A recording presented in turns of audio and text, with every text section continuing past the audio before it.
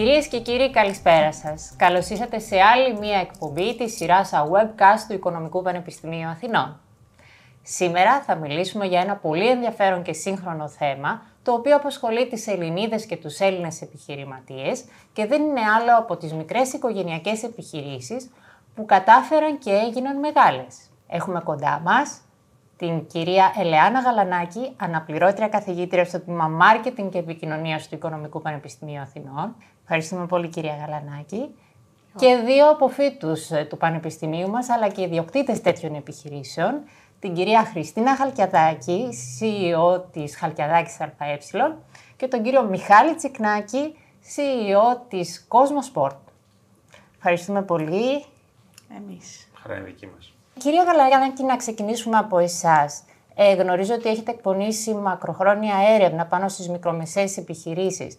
Θα θέλετε να μας μιλήσετε λίγο για τα πορίσματα αυτών των ερευνών που έχετε Ναι, πολύ ευχαριστώ. Σε ευχαριστώ και όλες για την ευκαιρία. Νομίζω ότι το σημερινό θέμα είναι από τα πιο ενδιαφέροντα και λίγο ε, παραμελημένο. Έτσι, δεν ασχολούμαστε πολύ με αυτό. Αυτή τη στιγμή είναι πολύ ε, δημοφιλές να ασχοληθούμε με τη startup, καινούργια επιχείρηση, πώς θα ορθοποδήσει, πώς θα μπορέσει να κάνει τα break-even, να δημιουργήσει την αγορά της. Αλλά αφήνουμε λίγο το στοιχείο και εκεί είναι ένας μεγάλος παράγοντας κινδύνου για μια επιχείρηση η οποία μεγαλώνει, ε, της επιχείρησης η οποία μπορεί να, είναι, να μπαίνει η δεύτερη γενιά μέσα ή να πρέπει ο επιχειρηματίας να αναθέσει δουλειές, να κάνει αυτό που λέμε delegation, το οποίο είναι μια δεύτερη φάση κρίσης στη, στον κύκλο ζωής μιας επιχείρησης και αυτό και δεν έχει ερευνηθεί τόσο πολύ και δεν, ε, δεν ε, ασχολούμαστε στο δημόσιο διάλογο σε σχέση με αυτό. Ε, η έρευνα που εμείς κάναμε, είναι, ξεκινήσαμε πριν τρία χρόνια, αφορά τις μικρομεσαίες, δεν εστίαζε ειδικά στις οικογενειακές, αλλά αυτό που βρήκαμε είναι ότι η πλειοψηφία αυτών που μας απάντησαν ήταν οικογενειακές και όχι μόνο ήταν οικογενειακές, αλλά είναι και σε αυτό που λέμε η πρώτη γενιά έχει μπει μέσα. Δηλαδή η πλειοψηφία αυτών των επιχειρήσεων, και αυτό δεν το δείχνει μόνο η δική μας έρευνα, ε, το δείχνουν και οι προηγούμενες που έχουν κάνει συμβουλευτικές εταιρείες και, και η PMG και η EY, ε, ότι ε, είναι πολύ μεγάλος ο αριθμός αυτών οι οποίες είναι οικογενειακές επιχειρήσεις και κινδυνεύουν ε, προς αποτυχία όταν αρχίσουν να μεγαλώνουν σε σημείο ώστε να φεύγει η διοίκηση από τα χέρια του ιδρυτή. Ε, αυτό το βλέπουμε λοιπόν ότι μέσα μία ή δύο γενιές μπορεί να υπάρχουν μέσα στην επιχείρηση και αυτό είναι ένας από τους παράγοντες ε, ανταγωνιστικά πλεονεκτήματα που έχει μια οικογενειακή επιχείρηση γιατί ουσιαστικά μια οικογενειακή βασίζεται πολύ στις σχέσεις που υπάρχουν μεταξύ, στα μέλη, μεταξύ των μελών ε, και αυτό βοηθάει πάρα πολύ. Ε, για να μην σταθώ πολύ στα θέματα αυτής της έρευνας, ε, πρόκειται να τα ανακοινώσουμε και σύντομα ούτως ή άλλως, ε, εγώ θα ήθελα να, να αναφέρω εδώ ότι οι family businesses, ειδικά στην Ελλάδα, είναι το 80% ε, όλων των επιχειρήσεων. Δηλαδή όλες οι επιχείρησεις που υπάρχουν και είναι καταγεγραμμένες αυτή τη στιγμή έχουν μορφή οικογενειακής επιχείρησης. Και το πιο εντυπωσιακό που εμένα μου κάνει πολύ εντύπωση είναι το 45% των εισηγμένων στο χρηματιστήριο είναι οικογενειακές. Που φαντάζεσαι ότι από τη στιγμή που μια εταιρεία γίνεται ανώνυμη και διαχειρίζονται οι μετοχές της ε, ανοιχτά, ότι μάλλον ε, αρχίζει να φεύγει ο έλεγχος. Δεν ισχύει αυτό και αυτό το βρήκαμε και στη δική μας έρευνα, ότι ουσιαστικά ε, σαν ε, ιδιοκτησία ή σαν άσκηση διοίκησης στις οικογενειακές επιχειρήσεις είναι ε, over 50% στο 80% των περιπτώσεων. Η, το πλειοψηφικό πακέτο δηλαδή μένει στα χέρια της οικογενειακής επιχείρησης και στη δεύτερη γενιά. Και επίσης ασκείται και η διοίκηση. Βέβαια αυτό σε μικρότερο βαθμό. Δηλαδή η διοίκηση μπορεί να περνάει χέρια ε, ή να προσλαμβάνονται ε, επαγγελματίες στελέχη. Δηλαδή δεν είναι, είναι μικρότερη αναλογία των επιχειρήσεων οι οποίες διατηρούν και τη διοίκηση και, τη, και την ιδιοκτησία. Ε, αλλά είναι ένα θέμα λοιπόν, οι οικογενειακές επιχειρήσεις που πρέπει να μας απασχολεί και πρέπει να βοηθήσουμε ε, τις οικογενειακές επιχειρήσεις στη φάση μιας ε, άσκησης πολιτικής, έτσι, αναπτυξιακής, ε, γιατί ουσιαστικά είναι οι περισσότερες επιχειρήσεις που υπάρχουν στη χώρα μας. Ε, και όχι μόνο στη χώρα μας, αλλά και διεθνώς. Ε, αυτό έτσι για να έχουμε μια ένα εισαγωγή, πλαίσιο. ένα πλαίσιο σε αυτό που θα συζητήσουμε σήμερα. Και είμαι πάρα πολύ χαρούμενη που έχουμε μαζί την κυρία Χαλκιαδάκη και τον ε, κύριο Τσικνάκη, γιατί αν μη τι άλλο έχουν την εμπειρία, οπότε αυτούς θέλουμε να ακούσουμε. Έτσι. Να ξεκινήσουμε με την κυρία Χαλκιαδάκη. Ε, να μας μιλήσετε λίγο για τη διαδρομή της δικής σας επιχείρησης.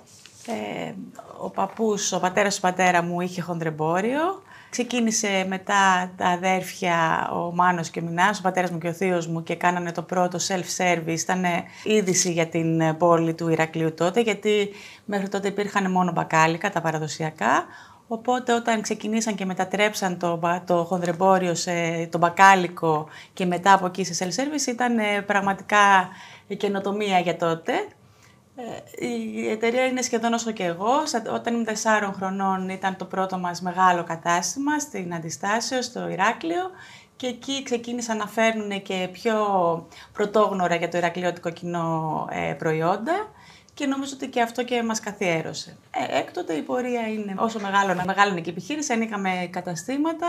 Ε, σήμερα ανήκουμε στον όμιλο, στο μεγαλύτερο όμιλο σούπερ μάρκετ στην Ελλάδα, στο Σκλαβενίτη και αυτό μας δίνει την ανταγωνιστικότητα σε συνδυασμό με την εντοπιότητα και την, ε, τις αρχές της οικογενικής επιχείρησης ε, να παραμένουμε market leaders στη, στην Κρήτη στο κομμάτι του σούπερ μάρκετ. Πολύ ωραία, πολύ ενδιαφέροντα αυτά που μας είπατε και ωραία ιστορική αναδρομή. Να ακούσουμε όμως και τον κύριο Τσικνάκη. Ε, από ό,τι γνωρίζω είστε ιδιοκτήτης δεύτερης γενιάς επιχείρησης.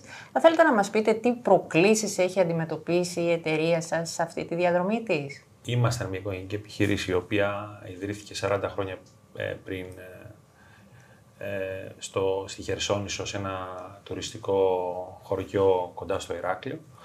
Ε, σε ένα κατάστημα 40 τετραγωνικών μέτρων, θυμάμαι τότε, ζούσαμε και αναπνέαμε εκεί. Ε, όλη μας η ζωή, όλη η οικογένεια, σε μένα και των τριών αδερφών μου, ήταν γύρω από αυτό το κατάστημα. Ε, σιγά σιγά με την πάροδο του χρόνου, όπως είπε και η Χριστίνα, μεγαλώσαμε, ε, επεκταθήκαμε και σε άλλες, στο Ηράκλειο και κατόπιν στις υπόλοιπες ε, περιοχές της Κρήτης και ε, από το 2009 όταν άρχισε η, η πολύ σοβαρή οικονομική κρίση στην Ελλάδα, εμείς είδαμε σαν μια πολύ σοβαρή ευκαιρία ε, να αναπτυχθούμε όταν όλα γύρω μας ήταν ε, στάσιμα. Άρα φτάσαμε, έχουμε φτάσει σήμερα σε ένα σημείο, αφού βέβαια έχουν προηγηθεί πολλές δυσκολίες ε, στην πορεία και σαν επιχειρηματίες ευρωμαλώμε πάρα πολύ ψηλά ρίσκα, να έχουμε καταστήματα ε, σε όλη την ε, ελληνική επικράτεια, από την Αλεξανδρούπολη μέχρι τη Σιτία. Ε, και τα τελευταία δύο χρόνια δραστηριοποιούμαστε και στην Κύπρο. Ε, το μεγάλο γεγονός σε όλη, σε όλη αυτή την πορεία ήταν όταν ε, πριν δύο χρόνια γίναμε μέλος του μεγαλύτερου ομίλου ε, παγκοσμίως στο χώρο των αθλητικών ειδών της JD Group. Οπότε και για τον μπαμπά μας αυτό ήταν ε, μια τεράστια δικαίωση σε όλα αυτά που είχε ονειρευτεί, ονειρευτεί είχε στοχεύσει. Από τη μία ήταν η μεγάλη συγκινησιακή φόρτιση ότι αφήνει κάτι πίσω, αλλά από την άλλη ήταν και η δικαίωση ότι κάτι κατάφερα και στην ουσία η μεγάλη περιουσία είναι ότι άφησε πίσω τρία παιδιά, τα οποία είναι πολύ δεμένα, είναι ακόμα πολύ ενεργά και ο καθένας έχει ένα διακριτό που και αυτό είναι ένα σημαντικό θέμα, ότι από τη μία είναι η διαδοχή, από την άλλη είναι πώς μοιράζονται οι ρόλοι. Και γιατί πολλές φορές αυτό είναι το, η μεγάλη πρόκληση, η πραγματική πρόκληση. Πολύ ωραία και χαίρομαι που το θίξατε αυτό, την προσωπική σας ενασχόληση με την οικογενειακή επιχείρηση. Αναρωτιέμαι αν ε, υπάρχει προστιθέμενη αξία από τις σπουδές σας στο Οικονομικό Πανεπιστήμιο Αθηνών. Θέλετε να ξεκινήσετε κύριε Τσικνάκη; Ε, ε, έχω τέσσερα παιδιά. Ο μεγάλος μου γιος μου λέει το εξής. Μπαμπά, εγώ γιατί να σπουδάσω, αφού θα έρθω κατευθείαν να δουλέψω στη, στην εταιρεία. Ε, του λέω, Φραγκισκό, και εγώ ε, μπορούσα να το κάνω αυτό, αλλά το να σπουδάσεις δεν είναι άμεσα αυτό που θα μάθεις. Δεν είναι ε, οι εξισώσεις που λύναμε με την κυρία Γαλανάκη, ας πούμε, στο πρώτο δεύτερο έτος, που προφανώς δεν τις χρησιμοποίησαμε ποτέ στην πορεία, τουλάχιστον εγώ. Εγώ, ναι. Ε, αλλά είναι όλο αυτή η, η ζήμωση που γίνεται, οι εμπειρίες, ε, η μόρφωση. Η μόρφωση αυτή καθεαυτή, η οποία προφανώς σου ανοίγει ορίζοντες, προφανώς σε κάνει πολύ πιο εξωστρεφή, προφανώς σε κάνει πολύ πιο δεκτικό σε νέα ερεθίσματα και στο τέλος της ημέρας είναι το συγκριτικό πλεονέκτημα που μπορεί να έχει κάποιος ε, σε αυτό το πολύ ανταγωνιστικό χώρο, στη Λιανική, ε, με τη Χριστίνα μας στη Λιανική, άρα η Λιανική είναι ένα σπορ το οποίο είναι 365 μέρες το χρόνο, 24-7, δεν σταματάει ποτέ, τώρα με το online ακόμα περισσότερο. Σωστά, σωστά. Άρα αυτή η γενική παιδεία νομίζω και εσάς κυρία Χαλκιαδάκη σας βοήθησε ε, να νομίζω έχετε... ότι η γνώση είναι ένα ταξίδι που δεν τελειώνει ποτέ. Οπότε, εγώ νιώθω πολύ τυχερή που το ξεκίνησα στο Οικονομικό Πανεπιστήμιο και σήμερα, δηλαδή, που επιστρέφουμε, νιώσαμε μια πολύ μεγάλη συγκίνηση και οι δύο με τον Μιχάλη. Το 1994 διαβήκαμε τα σκαλιά και νομίζω ότι μας έδωσε πολλά εφόδια για να ξεκινήσουμε και να βλέπουμε την επιχειρηματικότητα από μια σωστή οπτική. Κυρία Χαλκιαδάκη, ξεκινώντας από εσάς, θα θέλετε να μας μιλήσετε για την πορεία της δικής σας οικογενειακής επιχείρησης. Ποια είναι η ιστορία πίσω από τα 40 καταστήματα που διαθέτει ο Όμιλος σας σήμερα; Νομίζω ότι ήρθε πολύ ομαλά η ανάπτυξη και η εκτός Ηρακλείου, ας πούμε, πρώτη ε, έξοδος ε, για να έχουμε καταστήματα σε όλη την Κρήτη, που είναι και η σημερινή μας εικόνα. Θα πω πιο πολύ ε, τι θυμάμαι από αυτή τη διαδρομή. Νομίζω ότι η πιο κρίσιμη περίοδος ε, και η, παρουσία μου στην εταιρεία ήταν το 2008 όταν ε, ο πατέρας μου αρρώστησε πάρα πολύ σοβαρά και κινδύνευσε η ζωή του. Δεν ήξερα τι να πρωτοκάνω, δηλαδή ε, είχα, μόλις, είχα δύο μωρά παιδιά, ο πατέρας μου ήταν στην Αθήνα και έπρεπε να κάνει κάποια χειρουργία και εκεί πραγματικά πελάγωσα. Νομίζω ότι αν δεν υπήρχε αυτή η οικογένεια ε, ο μαγικός κλειός που σε περικλείσα δύσκολα.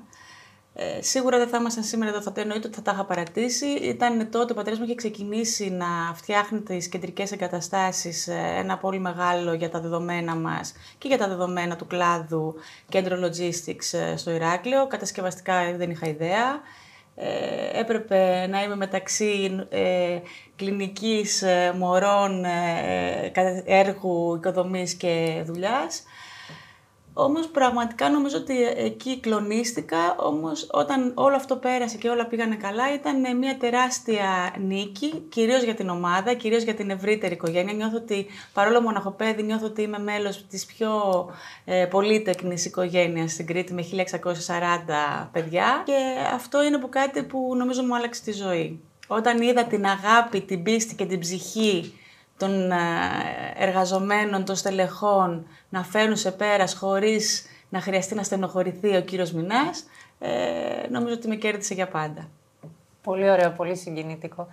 Κύριε Τσικνάκη, εσείς έχετε να μας πείτε κάποια έτσι εμπειρία σας από την οικογενειακή επιχείρηση; Ε, πολλά. Ε, μπορώ να, να πω τις πρώτες κόντρες που είχα με τον μπαμπά, ε, θυμάμαι χαρακτηριστικά όταν είχα πλέον τελειώσει και το μεταπτυχιακό ε, στο Λονδίνο και είχα έρθει με τρομερή όρεξη να αλλάξω τα πάντα. Ε, σαν μεγάλος πολιτικός που θέλω να γίνω πάντα. Ε, θυμάμαι, ε, κοιμόμουν στο, στο δωμάτιό μου και ήταν Κυριακή πρωί, στο δωμάτιο το, το πάλιο το παιδικό που ήμουν στο, στο πατρικό σπίτι. Και αφού η σχέση με τον πατέρα μου είχε φτάσει σε ένα επίπεδο που δεν πήγαινε παραπέρα, ε, ο μπαμπάς με τη μαμά έπαιρναν πρωινό στην κουζίνα και ακούω τον μπαμπά να λέει, μαμά, να λέει στη μαμά ότι ε, ξέρεις κάτι, ε, αν δεν φύγει ο Μιχάλης πίσω, νομίζω θα καταστραφούμε σε ένα επιχείρηση. Οπότε εγώ το, εγώ το άκουσα αυτό και ήταν ένα τεράστιο πλήγμα στην αυτοπεποίθησή μου. Γιατί ο, ο μπαμπάς ένιωθε ότι εγώ ήρθα από ένα άλλο κόσμο, ότι όλα αυτά που του έλεγα δεν μπορούσαν με τίποτα να εφαρμοστούν ε, σε αυτό που είχε στο μυαλό του αυτός. Οπότε από τη μία έπρεπε να με αποδεχθεί γιατί ήμουν ο γιος του, γιατί του συγγενείς σου και τα αδέρφια σου δεν τους ε, διαλέγεις, τους έχεις. Και από την άλλη ε, ένιωθε αυτή την απειλή. Ότι εγώ όχι μόνο δεν θα μπορούσα να προσθεμένη αξία λόγω των σπουδών στην, ε, στο Οικονομικό Πανεπιστήμιο κτλ. Αλλά ήμουν και.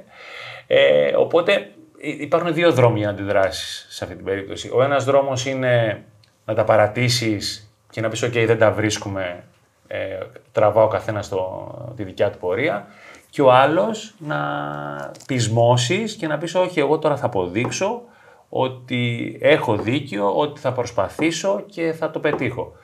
Και είμαστε εδώ που είμαστε τώρα, με 85 καταστήματα αυτή τη στιγμή, με πολλά ακόμα να είναι στη, στο, στο pipeline που λέμε και στην Κρήτη, ε, με 1.300 εργαζομένους και κυρίως με μια κουλτούρα και με μια, ε, με μια με ένα mentality οικογενειακής επιχείρησης. Γιατί στο τέλος της ημέρας όλοι εμεί που είμαστε λιανικοί πουλάμε προϊόντα. Τα προϊόντα μπορεί ο καταναλωτής να τα βρει όπου θέλει, μέσω του ίντερνετ, από όποια γωνία του κόσμου θέλει.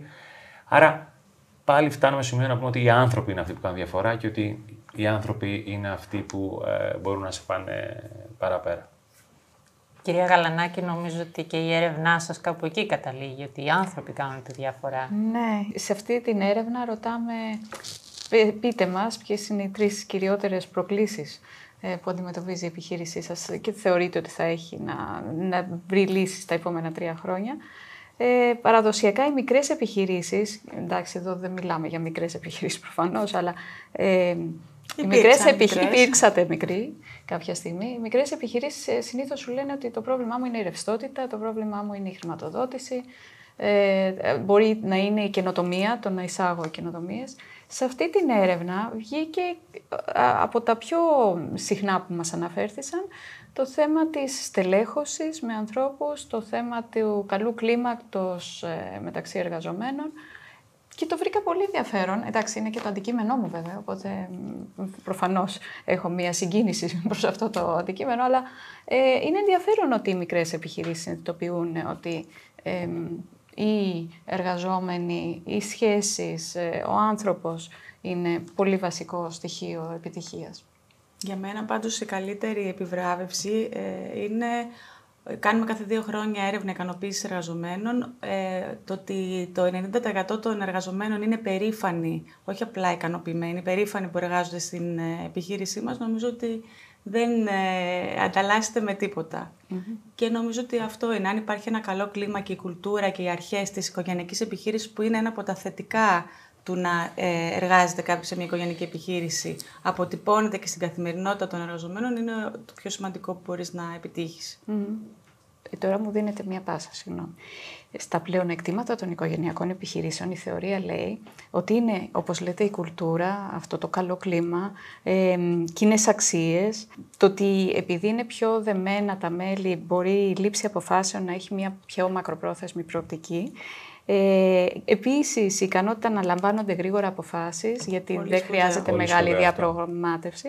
Και να πω και το τελευταίο, και αυτό θέλω να σας ρωτήσω, ε, και οι ισχυρότεροι δεσμοί με την τοπική κοινότητα. Οπότε η ερώτηση μου προς εσάς είναι, από αυτά, αν βάζατε έτσι μια κατηγοριοποίηση, ποιο θα λέγατε ότι είναι το πιο ισχυρό πλεονέκτημα, τέλος πάντων, που βοήθησε τις δικές σας επιχειρήσεις. Ο Μιχάλης να... δεν είναι στην τοπική κοινότητα, έχει πάρει σε άλλη πίστα. Για μας όμως είναι όντως η αλληλεπίδραση με την τοπική κοινότητα. Εμείς θέλουμε να είμαστε ο τοπικός ήρωας και να προσπαθούμε είτε στην κρίση είτε στην εξέλιξη να πρωτοστατούμε και να ζυμώνεται ε, ό,τι κάνουμε με την τοπική κοινωνία. Και γι' αυτό νομίζω ότι αυτό είναι το ανταγωνιστικό μας πλεονέκτημα, έτσι, ότι αλληλεπιδρούμε με τους ε, χιλιάδες ε, ε, πελάτες καθημερινά και τους γυρνάμε πίσω αυτό που μας έχει φέρει μέχρι σήμερα εδώ ε, νιώθουν και αυτοί ότι είναι, είμαστε δική τους ε, αλυσίδα. Δεν ανήκουμε μόνο στους 1600 πλάς, ανήκουμε σε όλους τους ε, καταναλωτές που μπαινοβγαίνουν στα καταστήματα. Και θέλω να προσθέσω ότι αυτό που είπατε για τις γρήγορες ε, ε αποφάσεις, ε, εγώ λέω αυτό, το έχω κάνει σημαία ότι το, δεν τρώει το μεγάλο ψάρι το μικρό, τρώει το γρήγορο το αργό. Στις οικογενειακέ επιχειρήσεις, πραγματικά οι αποφάσεις μπορούν να ληφθούν ε, στην ώρα που τρώσει ή στο διάδρομο. Επειδή με τον Μιχάλη ζήσαμε πολύ έντονα και όπως όλοι, όλοι όλος ο κόσμος ε, τον κορονοϊό και τι επίπτωση είχε στις ε, επιχειρήσεις, έχουμε ένα άτυπο φόρουμ μεταξύ μας και με άλλους δύο επιχειρηματίες και συζητάγαμε αυτό ότι, οκ, τι πρέπει να κάνουμε, πώς θα προστατεύσουμε τους εργαζόμενους, πώς θα λειτουργήσουμε. Νομίζω ότι καινοτομήσαμε στο πώς ε, από τη μία μέρα στην άλλη μετατρέψαμε τα καταστήματά μας ώστε, εντάξει, εμείς πιο γρήγορα γιατί εμείς ήμασταν ανοιχτοί, η λιανική δεν ήταν ανοιχτή, τα σούπερ ήταν ανοιχτά όλη την, ε, καθ' όλη τη διάρκεια και από τις πρώτες ώρες. Και, και ως είδος πρώτης ανάγκης. Έτσι. Ε, Ήταν και πολύ βασικό. Εκεί εμένα λειτουργήσε φουλ το μητρικό μου ένστικτο και έλεγα ότι ωραία, η ταμεία πώς νιώθει καλά, να τη βάλουμε πλεξικλά. Νομίζω ότι ήμασταν η πρώτη εταιρεία που έβαλε πλεξικλά στο ταμείο ή οπουδήποτε υπήρχε συναλλαγή. Γιατί πραγματικά εκείνη την ώρα πας στο μαγαζί, το μετράς, φωνάζει τον κύριο Βαγγέλη, σου παίρνει μέτρα, στο φτιάχνει. Δεν έχει να μπατζετάρουμε, να πάρουμε έγκριση, να το σκεφτούμε, να το πάμε στο RD να το φέρει. Είναι ακαριές οι αποφάσεις. Άρα το ανθρώπινο κεφάλαιο, αλλά και οι σχέσεις εμπιστοσύνης που έχετε καλλιεργήσει με τους πελάτες σας, εσείς και μέσω διαδικτύου φαντάζομαι και εκτός ε, Ελλάδος πλέον, είναι αυτό το οποίο σας φέρνει στην επιφάνεια και σας διατηρεί στην αγορά ως ανταγωνιστές με τους όλους άλλους υπόλοιπους καταναλωτές και επιχειρήσεις που υπάρχουν στον κλάδο. Ναι, ναι, έτσι.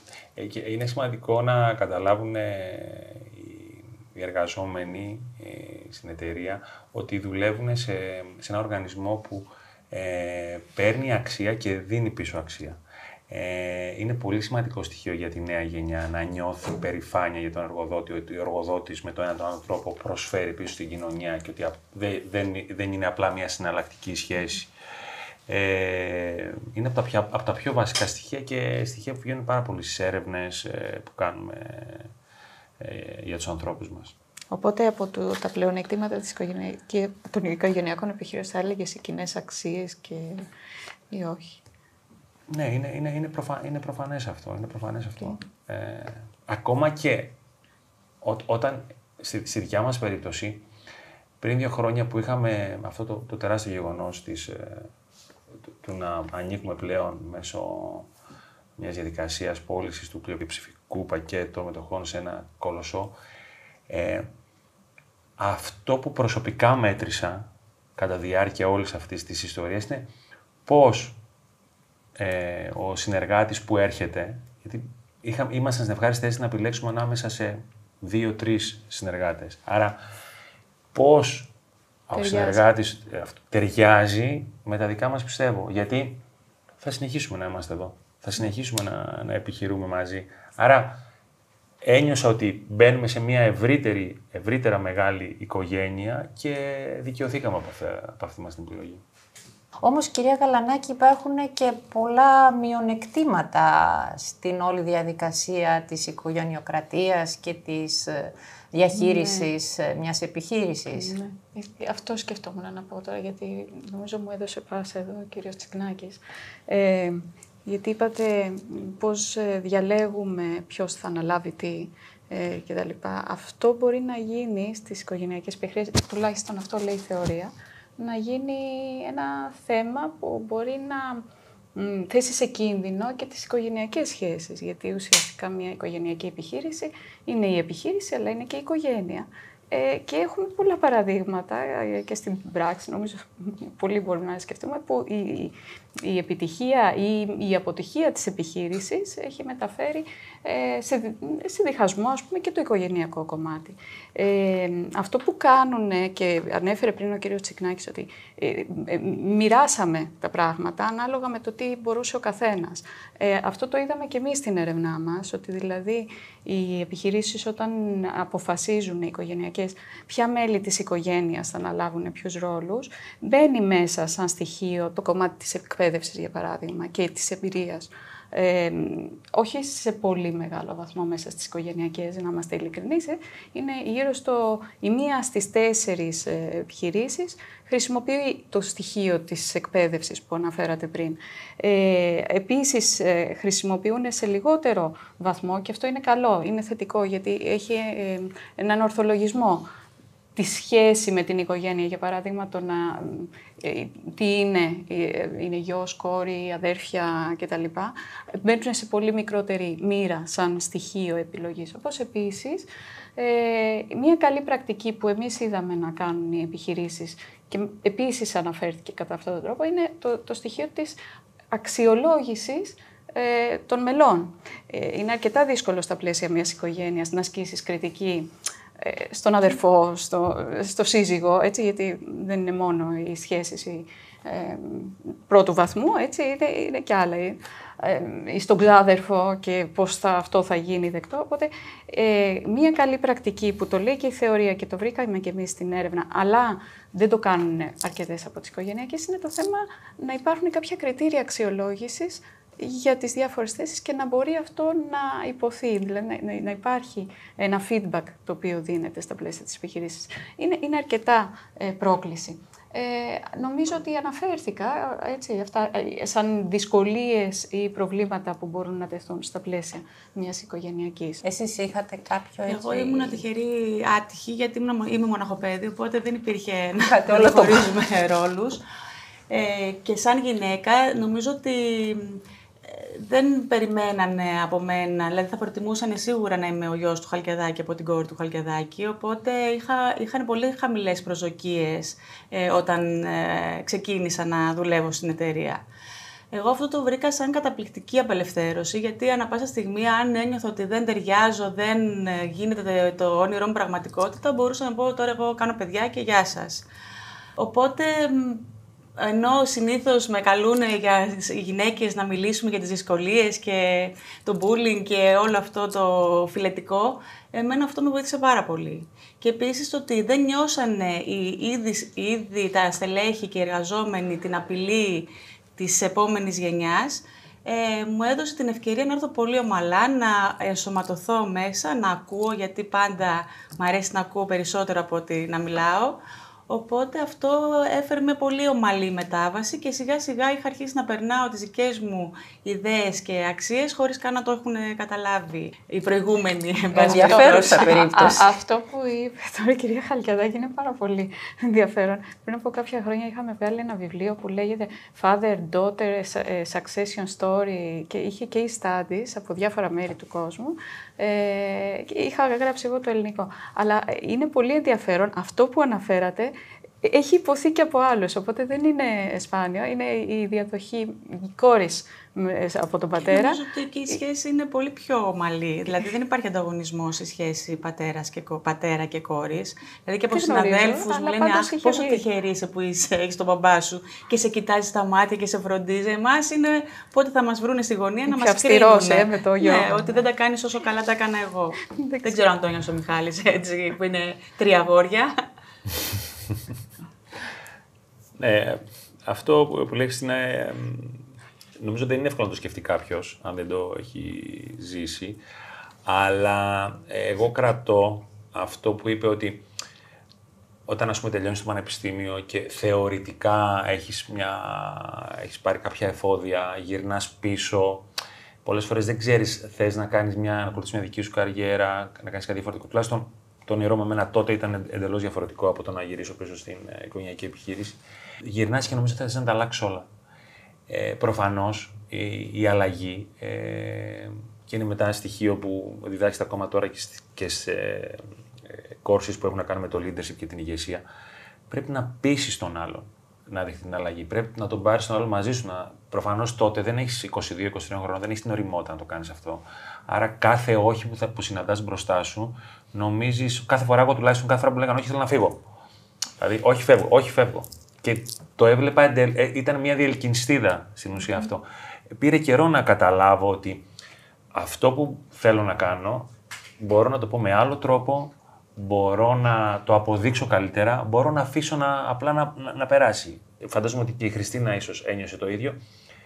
Ο μπαμπάς ή η μαμά λέει, εγώ γιατί να αλλάξω αυτό που κάνω, αφού φαίνεται ότι ό,τι κάνω πάει καλά. Αποδίδει Αφού αποτέλεσμα. Δουλεύει, γιατί να το αλλάξουμε. Γιατί να τα αλλάξω, γιατί να ακούσω εσένα. Άρα αυτό είναι ακόμα πιο δύσκολο. Οπότε, αν πάει καλά, δεν θέλει να τα αλλάξει. Αν δεν πάει καλά, φοβάται να σε εμπιστευτεί. Οπότε και στα δύο έχεις πρόβλημα. Ωραία αυτό που συζητάμε, μου αρέσουν. Εγώ κρατάω δύο σημεία. Ότι η οικογενειακή επιχείρηση δεν είναι μονόδρομος. Και δεύτερον, ότι χρειάζεται διπλωματία. Ε, κύριε Τσικνάκη. Να ρωτήσω όμως κάτι που μου δημιουργήθηκε σαν απορία. Δουλεύατε στην εταιρεία πριν τις σπουδές; Ναι, ναι, ήμουνα. Ήσασταν, ναι, ναι, ήμουνα, και για το... ναι, ήμουνα στο. Ε, δούλευα, ε, σας είπα, μεγαλώσαμε και άρα εγώ ε, έκανα τον. Πολιτή, τον, τον, τον πολιτή, αποθηκάριο. τον αποθηκάριο, τον το λογιστή. Έκανα μετά και μετά που τελείωσα. Έκανα το λογιστή. Και είμαι έκανα- σίγουρη ότι σας Πήγατε by the βοήθησαν. book, γιατί αυτό προτείνει Ναι. η θεωρία ότι Ναι. η οικογενειακή Το, επιχείρηση ε, είναι καλό ναι. από τα πρώτα στάδια. Ανοίγω, κλείνουμε το σερβερ. Τα γνωστά αυτά τα που κάνουμε όλοι. Όχι, Εγώ όχι με έκανα το και σερβερ. αυτό. Όταν κολλήσει, Και ανοίγουμε εγώ- το σερβερ, ναι. Νομίζω ότι Wi-Fi. είναι ε. σημαντικό να έχεις και Το μια Wi-Fi. εικόνα Καλά, δεν έξω είχαμε τότε. από την ε, οικογενειακή επιχείρηση. Σωστό. Γιατί πρέπει να έρθεις και στη θέση του εργαζόμενου με σύμβαση και συγκεκριμένη δομή, ας πούμε, σε αυτό που καλείσαι να κάνεις.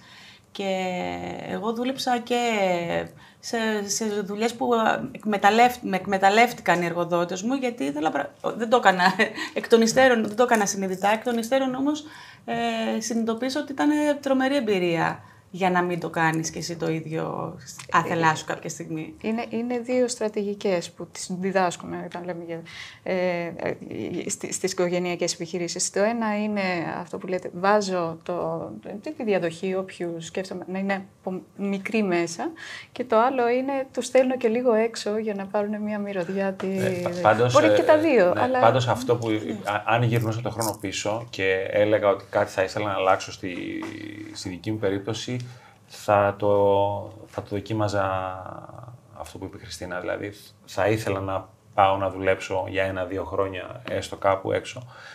Γιατί είναι ε, ε, τρομερά σημαντικό. Επειδή έχουν αλλάξει τόσο πολύ οι κανόνες που πρέπει να διοικείται μια εταιρεία και με τη Χριστίνα, ε, εμείς έχουμε τώρα 1300 παιδιά δουλεύουν στην εταιρεία, η Χριστίνα έχει ακόμα περισσότερα.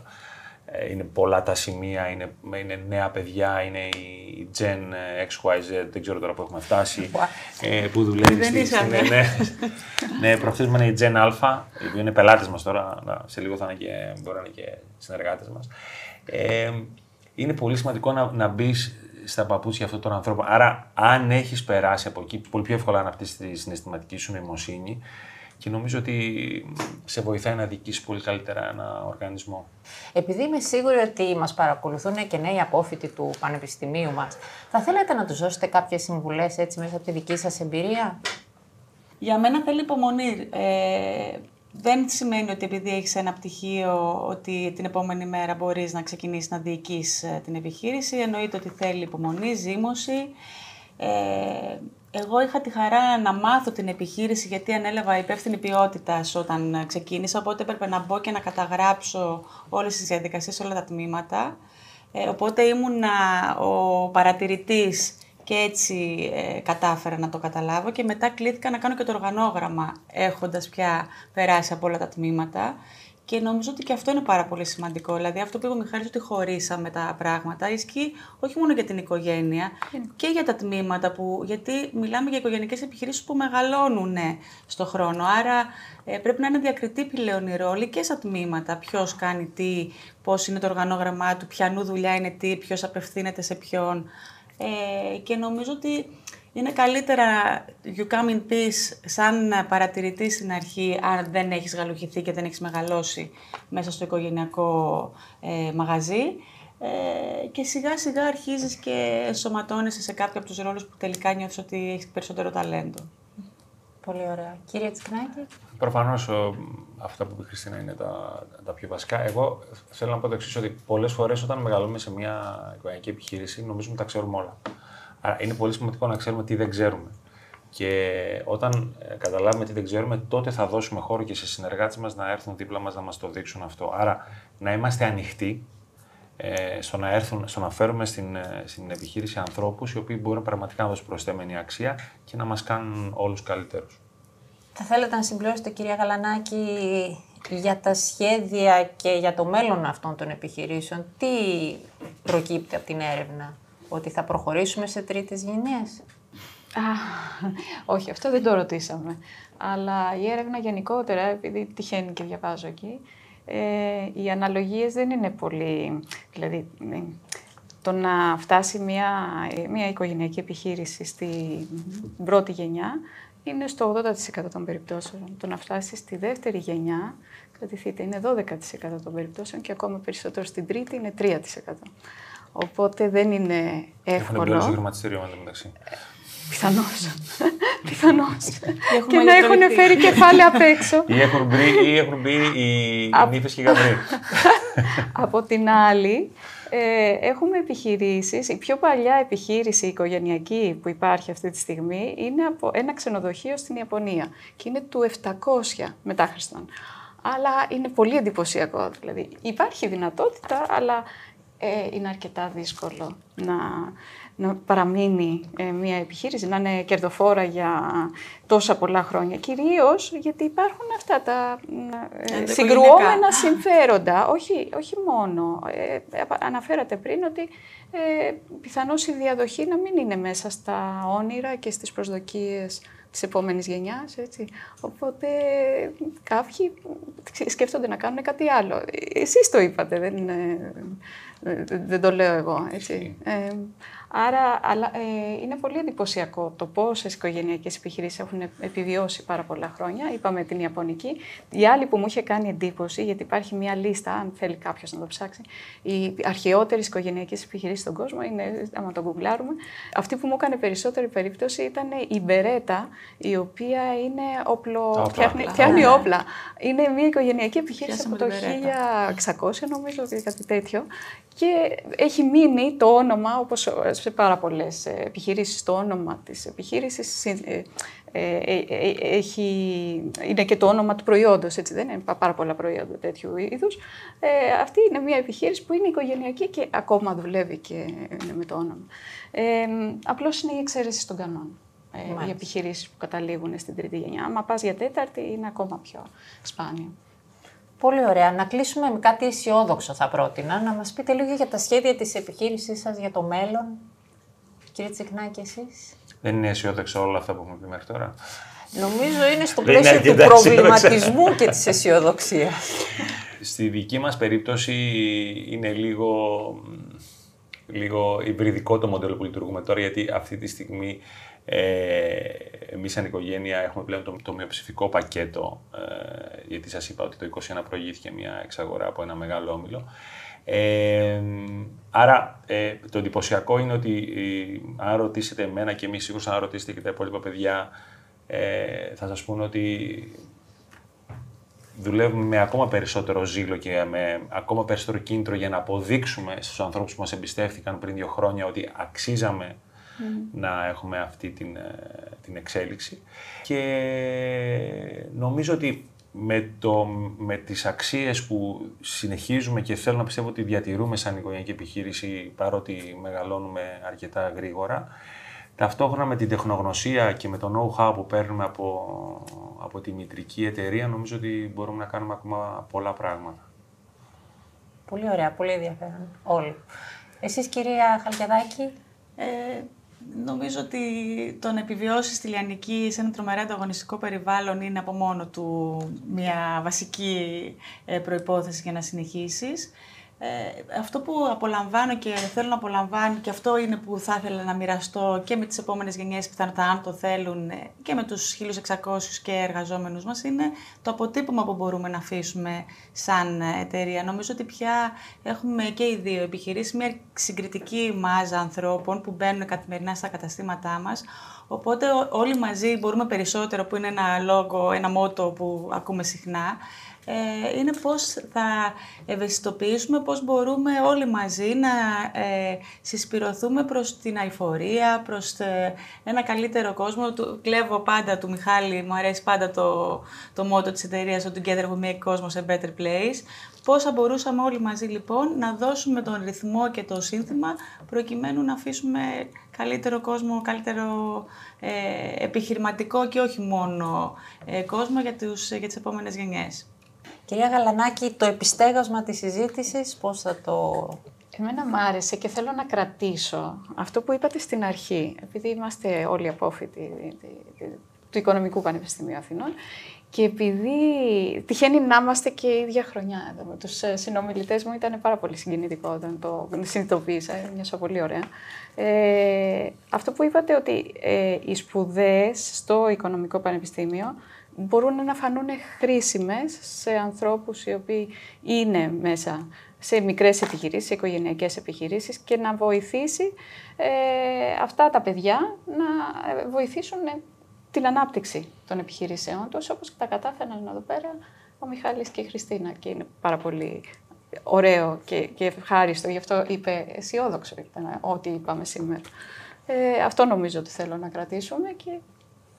Ε, και, και ισχύει αυτό, ε, κύριε Γαλανάκη, ότι όταν ας πούμε βλέπουμε βιογραφικά υποψηφίων στελεχών μας ή παιδιών που θέλουν, πάντα νομίζω ίσως και, και η Χριστίνα είμαι σίγουρος ότι το ίδιο σκέφτεται. Πάντα όταν βλέπουμε ότι κάποιος είναι από αυτή τη είναι σαν να Συνάδελφος. ναι, τον βλέπουμε εντελώς διαφορετικά γιατί ξέρουμε, ε, μπορούμε να, να, να δούμε τη διαδρομή που έχει κάνει από το να εισαχθεί στη σχολή μέχρι να τελειώσει από τη σχολή. Άρα για μας έχει ένα έξτρα, ας πούμε, μια έξτρα αξία αυτό.